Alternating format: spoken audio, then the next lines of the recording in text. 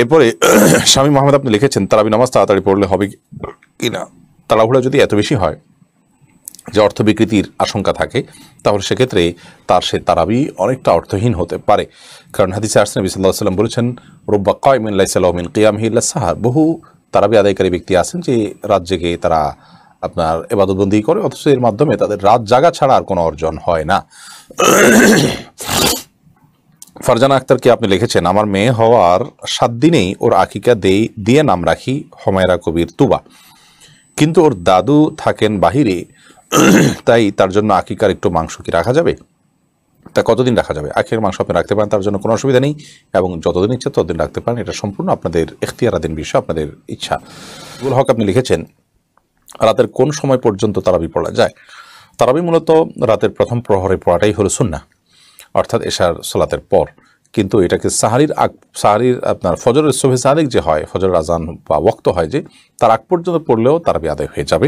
কিন্তু ফজরের তার তার, তারাবি আদায়ের মূল অক্তটা হলো আপনার সন্ধ্যা রাতে। সেটা রাত যদি কেউ দেরি করে পড়েন, বারোটা একটা পড়েন, তারপরও তার তারাবি আদায় হয়ে যাবে। জান্নাত মোনা আপনি লিখেছেন, সাত মাস বয়সে শিশু মারা গেলে ওদের সল জব হয় কিনা? বিশুদ্ধ মত অনুযায়ী তাদের কোনো সোয়াল জব হয় না। যেহেতু তারা সোয়াল জব হওয়ার মতো নয়, কারণ তাদের শরীয়তে কোনো হিসাবদিহি করার মতো বয়সেই তারা পৌঁছায়নি। যে বয়স থেকে তার হিসাব দিয়ে করা হবে জব দিয়ে করা হবে বিদায় তাদেরকে প্রশ্নোত্তর মুখোমুখি করা হবে না। এক্ষেত্রে অনেক ওলামাইকরাম ভিন্ন কথাও বলেছেন। হিসেব নেওয়া হবে সল জব করা হবে এবং সেটার উত্তরও তাদেরকে দেয়াটা সহজ করে দেওয়া হবে। তো মূলত বিষয়টি আলমুল গায়েবের বিষয়। আলামুল গায়েব বা অদৃশ্য জগতের বিষয় সম্পর্কে আমরা মন্তব্য করতে পারি, কিন্তু সেটার একমাত্র এলম পরিপূর্ণ এলম আল্লাহ তালার আছে। তানিয়া রহমান, আপনি লিখেছেন, স্ত্রীর জাকাতের টাকা দিয়ে স্বামী লোন পরিশোধ করতে পারবে কিনা? স্ত্রীর জাকাতের টাকা দিয়ে স্বামী তার লোন পরিশোধ করতে পারবেন। তবে সেটা স্বামী পরিশোধ করবেন এমন নয়। স্ত্রী তার জাকাতের টাকা স্বামীকে দিবেন যে তুমি তোমার লোন পরিশোধ করো, তোমাকে সেজন্য আমি দিলাম। স্ত্রীর যদি টাকা থাকে আর স্বামী যদি জাকাতের হকদার হন, ঋণগ্রস্ত হন, তার কোনো ঋণ পরিশোধ করার ব্যবস্থা না থাকে, তাহলে সেক্ষেত্রে স্ত্রী তার ঋণ পরিশোধে সহায়তা করতে পারেন। তিনি সংসার চালাতে গিয়ে, চিকিৎসা করতে গিয়ে ঋণগ্রস্ত হয়ে গেছেন। তো এই সমস্ত ঋণ স্ত্রী তার জাকাতের টাকা থেকে স্বামীকে আদায় করার জন্য সহযোগিতা করতে পারেন। আরিফরাজ আপনি লিখেছেন, বলা হয় রমজানের প্রথম দশক রহমতের, দ্বিতীয় দশক মাগফিরাতের এবং তৃতীয় দশক নাজাতের। এভাবে রমজান মাসকে বিভাজন করা কি ঠিক? রমাদান মাসের প্রথম দশক রহমতের, দ্বিতীয় দশক মাগফিরাতের, তৃতীয় দশক নাজাতের জন্য স্পেশাল পুরো মাসেই রহমত, নাজাত, বরকত থাকে। কিন্তু বিশেষভাবে এই দিনগুলোতে একটু আল্লাহ তালা বান্দাকে বেশি রহমত, বেশি বরকত, বেশি নাজাত দিয়ে থাকেন এই দশকের অনুপা, অনুপাতে। এরকম একটি বর্ণনা হাদিসে, হাদিস থেকে আমরা জানতে পারি, এরকম একটা বর্ণনা আছে।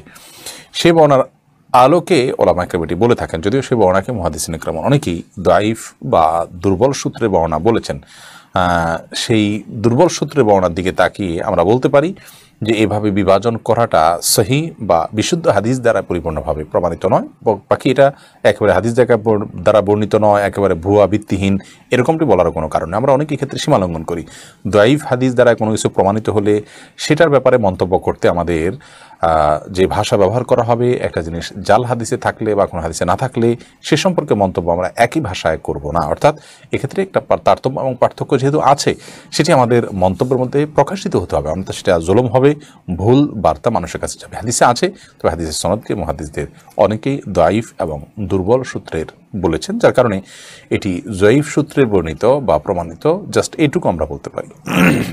আখতার হোসেন, আপনি লিখেছেন জাকাত বর্তমান প্রেক্ষাপটে রূপার হিসাবে করা উত্তম না স্বর্ণের হিসাবে করা উত্তম? বর্তমানে পঞ্চাশ হাজার টাকা সব মানুষের কাছেই থাকে। বাক্তার হোসেন, জাকাতের নেশাব স্বর্ণ বা রূপা, যে কোনো একটাকে টাচ বা স্পর্শ করলেই জাকাত আসবে। এখন বলা বাহুল্য যে রূপার দাম কম থাকে, অতএব খুব সহজেই রূপার যে নিঃসাব সেটা স্পর্শ করা যায় এবং পঞ্চাশ ষাট হাজার টাকা হলেই রূপার নিসাব স্পর্শ করা যায়, তো তাদের উপরে জাকাত আসবে। শরীয়ত দুইটা যে কোনোটির মেয়ারকে নির্ধারণ করেছে, অর্থাৎ স্বর্ণ হোক আর রূপা হোক যে কোনো একটার সাথে টাচ করলেই হবে। এখন আপনি বলতে পারেন, তাহলে স্বর্ণের কথা বলার দরকার ছিল কি?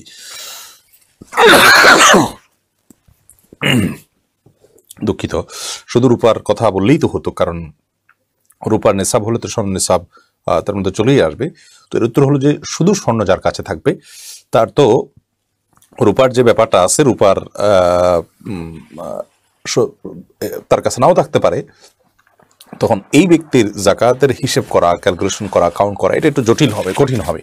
আর সেই কারণে স্বর্ণের হিসাবটাকে এটার সাথে ধরা হয়েছে। ধরুন একজনের কাছে পাঁচ ভরি স্বর্ণ আছে, তার কাছে কোনো রূপা নেই, নগদ টাকা নেই, তাহলে তার জাকাত আসবে না।